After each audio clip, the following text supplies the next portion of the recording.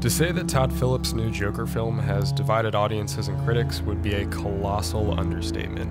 Joker currently has a Metacritic score of 58, but an IMDb user rating of 9.0. Just a quick crawl across social media will uncover the heaps of praise the film is receiving, as well as the equal amounts of negative criticism towards it. However, none of the negative press that Joker is receiving has stopped it from drawing in an opening weekend of over $240 million at the worldwide box office, almost equal to what the third installment of the Dark Knight trilogy opened to.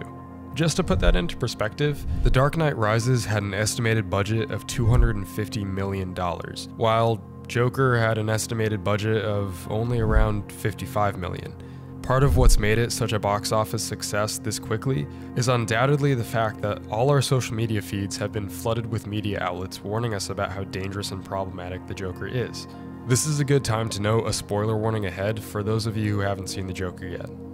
The film is about Arthur Fleck, a dreaming stand up comedian who suffers from undefined mental illness, including a condition that causes him to laugh painfully and uncontrollably out of nowhere. Arthur is very much in need of psychological help, which he's deprived of due to cuts in government funding. As the film continues, Arthur suffers from a series of setbacks and humiliations that gradually catalyze his fall into a violent and rage fueled psychosis aimed at the system that failed him. By the end of the movie, amid a citywide mass riot inspired by Arthur's actions, Arthur has unintentionally become a hero to the oppressed population of Gotham. Amid random mob violence and societal breakdown, the Joker, as we know him, is born. The thing that critics seem to object to above all is that Arthur is not portrayed as pure evil. The film is told entirely from Arthur's perspective, and us as an audience are positioned to empathize with Arthur. Beyond that, the film has a clear message that while Arthur's actions are his fault and doing, we created an environment where someone like him can be born. And this is what media outlets considered dangerous about the film. When it premiered at the Venice Film Festival in August and picked up the prestigious Golden Lion Award, Time magazine's Stephanie Zacharek denounced the film for its sympathetic portrayal of the protagonist, who could easily be adopted as the patron saint of incels. Since the film's release, a cascade of similar comments followed from critics who worried that its morally ambiguous and empathetic depiction of a psychotic killer could incite real world violence, and that alienated young men would, like the riotous mobs in the film's closing scene, see the Joker as the film's hero. But humanizing characters who perform inhumane acts of violence isn't something new to Hollywood. Being offered a glimpse into the mind of a twisted protagonist is something we've seen plenty of times before. Disturbed characters such as Travis Bickle in Taxi Driver, Patrick Bateman in American Psycho, and Tyler Durden in Fight Club have all garnered critical and commercial acclaim, without sparking crime sprees amongst disaffected white teenagers.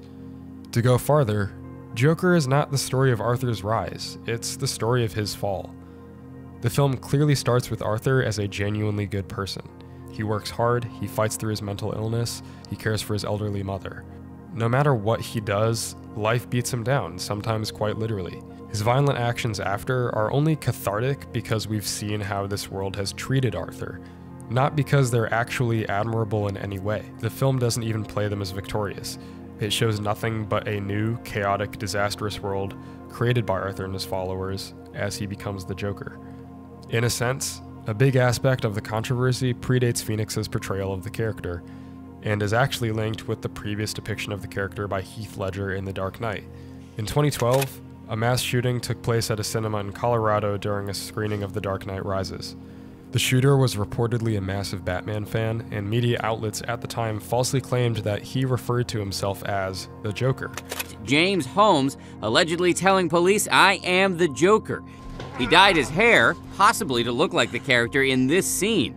He also allegedly rigged his apartment with elaborate booby traps, a favorite weapon of the Joker, who gleefully executes elaborate, lethal crimes and was once described by the actor Heath Ledger as a murdering, schizophrenic clown with zero empathy. A report that was later deemed as false by the police who spoke to him in the first place. The association with the mass shooting and the comic book character is something that hasn't gone away, and understandably so. The movie is not an endorsement of Republican mental illness blaming that some outlets say it is. It's simply a depiction of something which could play out pretty accurately in real life. The Joker has quickly turned into a media scapegoat, a cultural influence blamed for the internal troubles of society. Think of how Dungeons and Dragons sparked panic in the 80s, or the way a genre of music was demonized after the horror of Columbine. Some will be so brash to ask if we believe that all who hear Manson tomorrow night will go out and commit violent acts. The answer is no.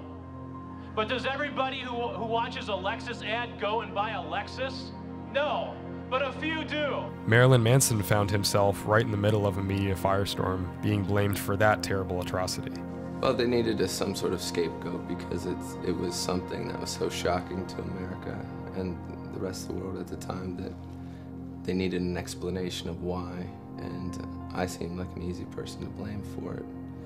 And uh, I'm, I'm not surprised at something like that, but I'm surprised at the extent that they went to to really persecute me over it. While the accusations against Manson seem utterly obscene in hindsight, they aren't at all too different from the hysteria currently surrounding Joker. And while the film will likely benefit from the increased attention, the willingness to point the finger at fiction seems terribly misplaced, particularly when the fiction is art depicting something prevalent in our everyday politics, and has been praised by people such as Adrian Raine, a neurocriminologist famous for being the first in his field to study the brainwaves of murderers.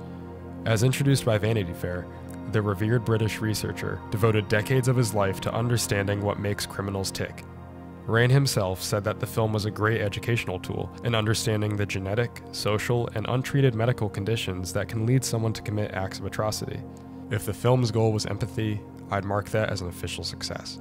In an interview with the Washington Post, Professor Kendall Phillips stated that all this talk about potential real world violence around the film is distracting from the opportunity to use this film to start a dialogue about such issues as alienation and toxic masculinity. Ironically, both of these issues are quite prevalent in media and social media discussions. There's no denying that there is a crisis amongst the nihilistic and alienated young men that Joker purposefully parallels. But instead of pointing the finger at art, perhaps media outlets need to point fingers at the root causes of people such as Arthur, and what we can do to integrate them into society rather than catalyze disaster. But that's all far more complex and difficult to overcome than a fictional comic book villain. Thanks for watching the video and be sure to subscribe. If you enjoyed it and want to see more content like this, consider supporting us over on Patreon. It really helps support and grow this channel, and you can get exclusive access to behind the scenes content, early access to videos, and you'll be able to vote on what video we release next.